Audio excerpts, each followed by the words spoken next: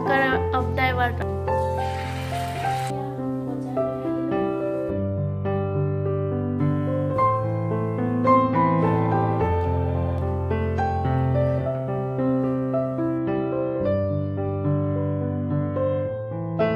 hello' everyone আশা কৰোঁ আপোনালোক সকলোৱে ভালে আছে। আজি নিশাচৰ প্ৰাণীৰ নিচিনা গোটেই ৰাতি মই নুশুলোঁ চাওক কেইটা বাজিলে তিনিটা পোন্ধৰ হৈ গ'ল। মানে লেপটপটো পূৰা কমপ্লিট ফুল হৈ গৈছিলে সেই চব ঠিক ঠাক কৰোঁতে। তিনিটাই বাজি গ'ল। তাৰপিছত আৰু একেলগে মই ভাত পানী বনালোঁ ভাবিলোঁ শুই গ'লে আৰু সাৰ নাপাম। ইফতাৰী বনোৱাৰ পিছত কিটচেন ক্লিনিং কাম ইফতাৰী কৰাৰ পিছতে হৈ উঠে। সেইকাৰণে চেহেৰি টাইমত উঠিলে আৰু বেলেগ কৰিবলগীয়া কাম নাথাকে চিধা আহিছোঁ ব্ৰাছ কৰিবলৈকে। আৰু ব্ৰাছ কৰাৰ সময়ত মই একেলগে পাৰিলে উজুও কৰি লওঁ। কেতিয়াবা কেতিয়াবা আৰু সদায় নহয় বাৰু। কাৰণ চেহেৰি খোৱাৰ পিছত মানে ভাত খোৱাৰ পিছত ভাত খাওঁতে আৰু কি দহ বাৰ মিনিট সময় লাগে বা কেতিয়াবা জলা জলকৈ খালে পাঁচ সাত মিনিট সময় লাগে। তাৰপিছত আজান দিবৰ কাৰণে মাজতে যথেষ্টখিনি সময় পোৱা যায়। এনে এনে থাকিলেও টোপনি লগা নিচিনা হৈ যায়। সেইকাৰণে মই ভাত খাই চিধা বাচন নুধোঁ। কোৰাণ শ্বৰীফ পঢ়িব লওঁ। সেইখিনি আধা ঘণ্টা সময়ত ভালোখিনি পঢ়া হৈ যায়। কোৰাণ শ্বৰীফ তাৰপিছত নামাজৰ পিছতো যদিও এক পাৰা কমপ্লিট কৰিব পাৰোঁ বহুখিনি আগবাঢ়ি যোৱাৰ নিচিনা হৈ যায়। আৰু আগৰাতিতে বনাইছিলোঁ ভেন্দি ভাজি আৰু ভাতখিনি। দাইল চাইল বনাই ৰখা নাই কাৰণ চেহেৰি সময়ত ইমান বেছি খাব নোৱাৰোঁ। মইতো পানী এগিলাচ বা গাখীৰ কল তেনেকৈ দিয়ে খাব পাৰোঁ। আমাৰ এখেতেতো বেছিভাগে কল বা পানী খাই ৰাখে আগৰাতিতে ভাত খাই ভালকৈ। আৰু এয়া মই সেইকাৰণে এটা অমলেটকে কৰি ল'লোঁ। অমলেটটো আকৌ আগৰাতি কৰি থৈ দিলে সেমেকি গ'লে কিবা মোৰ ভাল নালাগে। সেইকাৰণে ভাবিছোঁ গৰম গৰমে ভাল লাগিব। এতিয়া দুয়োজনে মিলি তাৰপিছত ভাতখিনি এখেতে উলিয়াইছিল যে মোৰ অমলেট ৰেডি হোৱাই নাছিল। এখেতে ৰখি আছে। এতিয়া দুয়োজনে মিলি চেহেৰি কৰিলোঁ আৰু অকণমান বাৰাণ্ডাৰ ফালে ওলাই আহিব লওঁতে দিলে আজি হাই এভৰিৱান আজি মোৰ ভালকৈ টোপনিয়ে নাহিল কাৰণ মই উঠিলোঁ আজি আঠটা বজাতে আৰু অকণমান কাম চাম কৰি ৰেডি হওঁতে বাজিলে নটা। এতিয়া যাম অকণমান বজাৰলৈকে। পৃথিৱীত বেষ্ট ফুলক্কাৰ অফ দ্য ৱাৰ্ল্ড আপুনিয়ে পাব। তিনিবাৰকৈ জাবৰখিনি লৈ পাৰিলে আজিকালি মানে জাবৰ তোলোৱা ফ্ৰী হৈছে যে এতিয়া মানে ডাষ্টবিনবিলাক উঠাই উঠাই দিছোঁ ক'তোতে ডাষ্টবিন নাই অকল ঘৰে ঘৰে আহি লৈ যায়।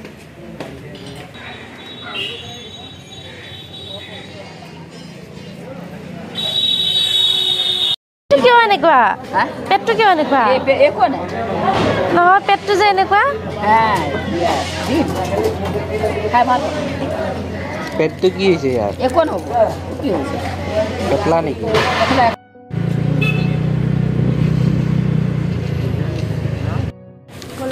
মোৰ যেতিয়াই মাছ খাব মন যায় বেছিভাগে যে আমি উজান বজাৰ ঘাটলৈকে তাতে মানে চব লোকেল মাছ পোৱা যায়। আৰু একেলগে বজাৰৰ পৰা আহোঁতে লৈ আহিলোঁ পাচলিও। ঘৰৰ কাম যিটো কৰা হৈছিলে পাকঘৰৰ কাম তেনেকৈ কৰা হোৱা নাছিলেই। ৰাতিতে যিখিনি পাৰোঁ সেইখিনি কৰি থৈছিলোঁ বাৰু। ৰোজা ৰাখি ৰুমৰ ভিতৰত সোমাই থাকিলে ইমান বেছি অনুভৱ কৰা নাযায়। কিন্তু বাহিৰত অকণমান সময়ৰ কাৰণে গ'লোঁ গাড়ী মটৰৰ হাল্লা চিল্লা লগতে ইমান ৰ'দো আছিলে বাহিৰত। এয়া যে এইখন শ্বপিং বৰ্ডখন দেখিছে কিয় এনেকুৱা হৈছে জানে? মই লেতেৰা বুলি নাভাবিব আপোনালোকে। যেতিয়া মোৰ অপাৰেশ্যন হৈছিলে কলফুল খাব লাগে কিন্তু তেতিয়া মানে কলডিল মই উস্তাদি মাৰি কলডিল ইয়াতে কাটিছিলোঁ। আৰু আজি আনিলোঁ মোৰ প্ৰিয় বস্তুটো। মই খুব খোৱানীয় হয় বহুত ডাঙৰ মাছ। মাছ ধোৱা কাম আৰু মাছ বচা কামটো হৈছে গা ধোৱাৰ আগতে। সেইকাৰণে মই গা পা ধোৱাৰ আগতে এইখিনি গোটেই ঠিক ঠাক কৰি লৈছোঁ। আৰু আনফালে জহুৰৰ টাইম টাইমো হৈ আহিলে। এখেতেও আজি অফিচৰ পৰা সোনকালে আহিলে মানে। আৰু মই ৰেডি হৈ আছোঁ নামাজখিনি পঢ়ি ল'বৰ কাৰণে কাৰণ ইফতাৰীৰো আকৌ যা যোগাৰ কৰিব লাগিব যে। পানী আহিছেনে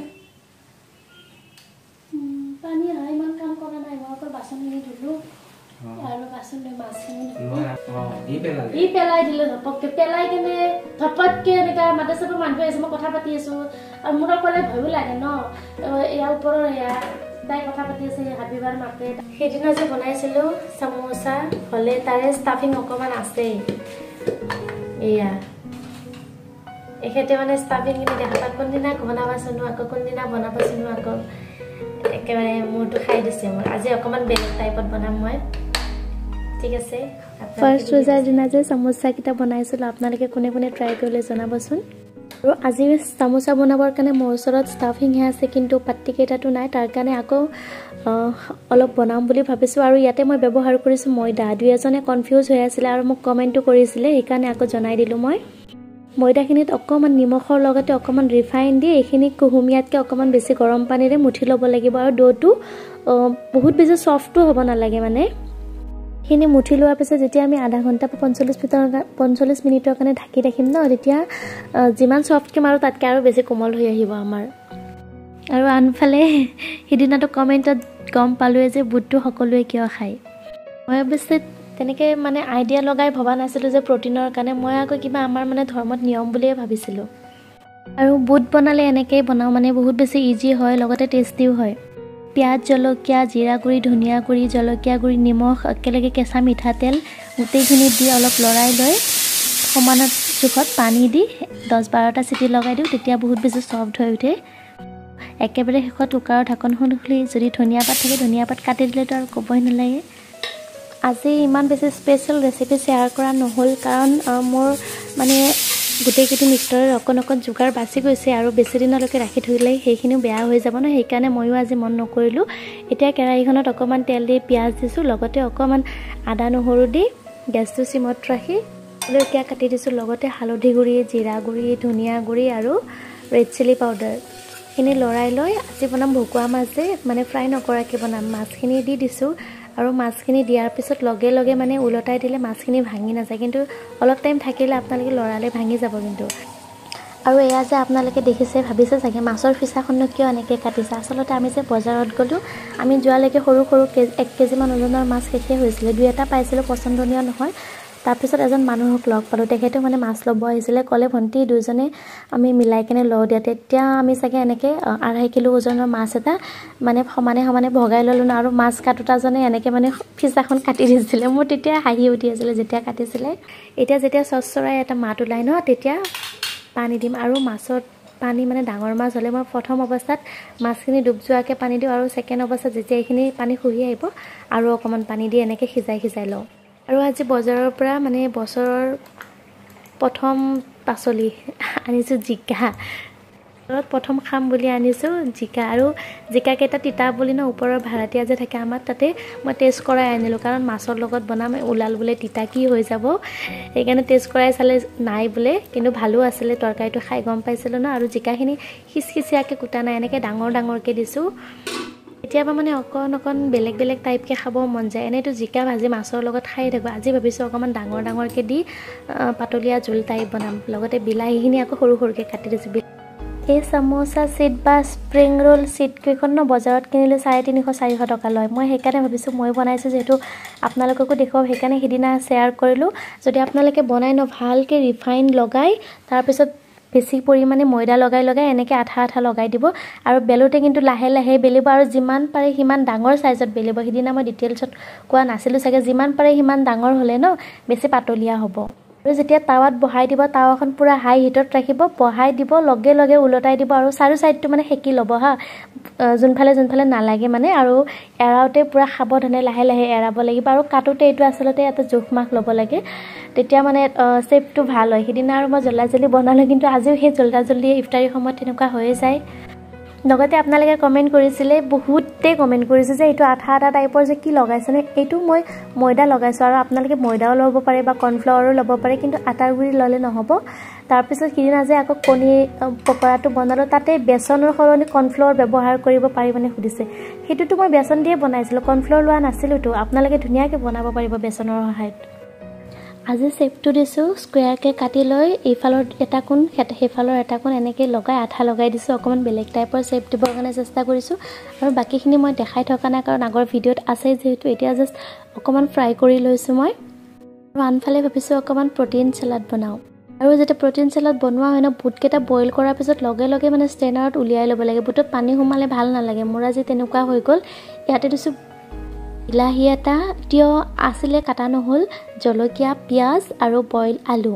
লগতে এফাল নেমু চেপি দিছোঁ। তাৰপিছত সোৱাদ অনুসৰি চাট মছলা আৰু ক'লা নিমখ আৰু নৰ্মেল নিমখো অকণমান দিব লাগে। এতিয়া এইখিনি লৰাই লোৱাৰ পিছত হৈ গ'ল আমাৰ প্ৰটিন চেলাড ৰেডি। আৰু আজি ইফতাৰত ইমানো স্পেচিয়েল নাই। আজি অকণমান মানে পেটটোক ৰেষ্ট দিছোঁ আৰু আমি। উৎসৱ বুলি ক'লে যিহেতু মুছলমানসকলৰ আমাৰ একমাত্ৰ ঈদে সেইকাৰণে মই ভাবোঁ যে আমি ৰমজানৰ প্ৰত্যেকটো দিনে ঈদৰ নিচিনাকৈ চেলিব্ৰেট কৰিব লাগে। কৰিব লাগে মানে আমি সকলোৱে কৰোৱে দিয়কচোন কাৰণ ইফতাৰী বনাবলৈ আমাৰ কিবা এটা ফূৰ্তি লাগি থাকে যে ইফতাৰী বনাবই লাগিব বা ইফতাৰীৰ সময়ত নতুন নতুন খানা বনাই আনকো ইফতাৰী দিলোঁ আমাকো ইফতাৰী দিলে। ঈদৰ নিচিনাকৈ আচলতে চেলিব্ৰেট কৰাৰ নিচিনা হৈ যায় আৰু মনত কিবা আনন্দও লাগি থাকে ন? ৰমজান মানে ঈদ সেইকাৰণে মানে ৰমজানৰ প্ৰত্যেকটো দিনে আমি ঈদৰ নিচিনাকৈ চেলিব্ৰেট কৰাৰ নিচিনা হৈ যায়।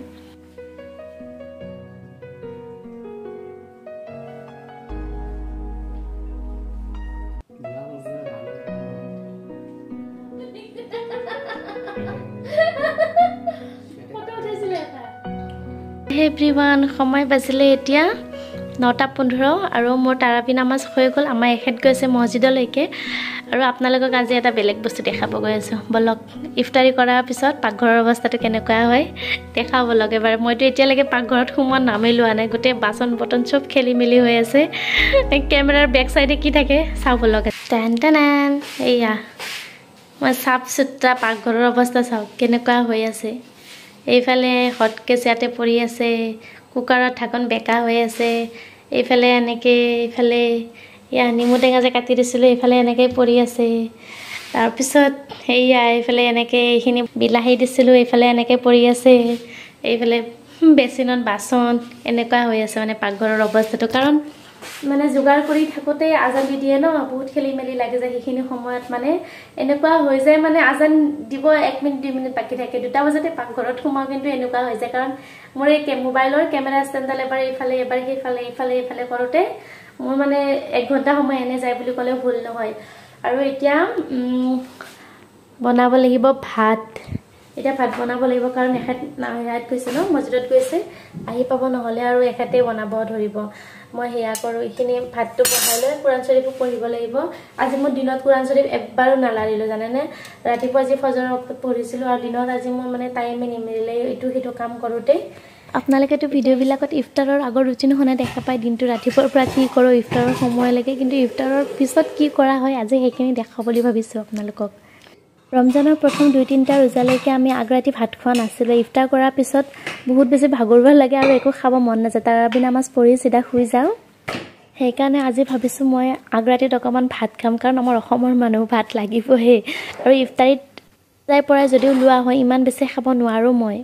সেইকাৰণে ভাবিছোঁ চাফ চিকুণ কৰাৰ আগত প্ৰথমতে ভাতকেইটা উঠাই দিওঁ আৰু এইফালে বস্তুবিলাক বজাৰ কৰি আনি আৰু চববিলাক কণ্টেইনাৰত ভৰোৱা নাই। কাৰণ ৰোজাৰ কেইদিন ইউজ হৈয়ে আছে শেষ হৈয়ে যাব বস্তুবিলাক। সেইকাৰণে এইবাৰ ইমান বেছি ঠিক ঠাককৈ মানে চব ভৰোৱা নাই আৰু কণ্টেইনাৰত। যদিও পাকঘৰৰ বস্তুবিলাক খিচিৰ মিচিৰ হৈ আছে কিন্তু ইমান বেছি বাচন বৰ্তন মোৰ লেতেৰা হৈ থকা নাই। কাৰণ যেতিয়া সুবিধা পাওঁ মানে ভিডিঅ' কৰাৰ মাজতেও ইফতাৰী বনাই থকাৰ মাজতেও সৰু সুৰা দুই এখন বাচন ময়ো ধুওঁ বা এখেতেও বেচিনৰ ওচৰত আহিলে ধুই দিয়ে। আৰু এইকেইদিন মানে মিক্সাৰ গ্ৰাইণ্ডাৰটো বহুত বেছি ইউজ হৈ আছে। যিহেতু এইবিলাক বস্তু ধুব নোৱাৰি ন মই এনেকৈ কলিনৰ সহায়ত চাফা কৰি দিওঁ।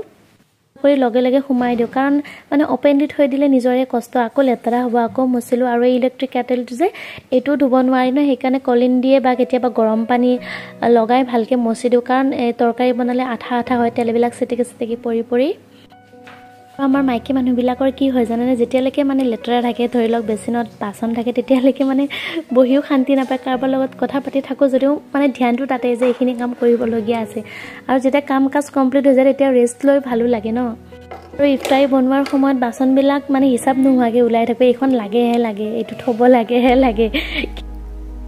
ইফতাৰীৰ সময়তে যে বনাইছিলোঁ জিকা আৰু ভকুৱা মাছৰ লগতে বিলাহী জোল সেইখিনি এতিয়া অকণমান গৰম কৰি ল'লোঁ। তৰকাৰীখন দেখিবলৈ যিমান ধুনীয়া হৈছিলে টেষ্টটো খুব বেছি ধুনীয়া হৈছিলে। আৰু এইফালে মই লৈছোঁ ভাত খাব এখেতৰ কাৰণেও বাঢ়ি দিছোঁ মোৰ মানে বহুত বেছি ভাগৰ লাগিছে ন। আজিৰ ব্লগটো মই এনেকৈ সামৰিলোঁ আশা কৰোঁ চাই ভাল পালে আৰু যদি ভাল পালে প্লিজ লাইক নকৰাকৈ নাথাকিব আপোনালোকৰ পৰিয়াল আৰু বন্ধুবৰ্গৰ মাজত শ্বেয়াৰ কৰিব আৰু চেনেলত কোনোবা নতুন আহিলে প্লিজ আপুনি চেনেলটো মোৰ ছাবস্ক্ৰাইব কৰি দিব। বাই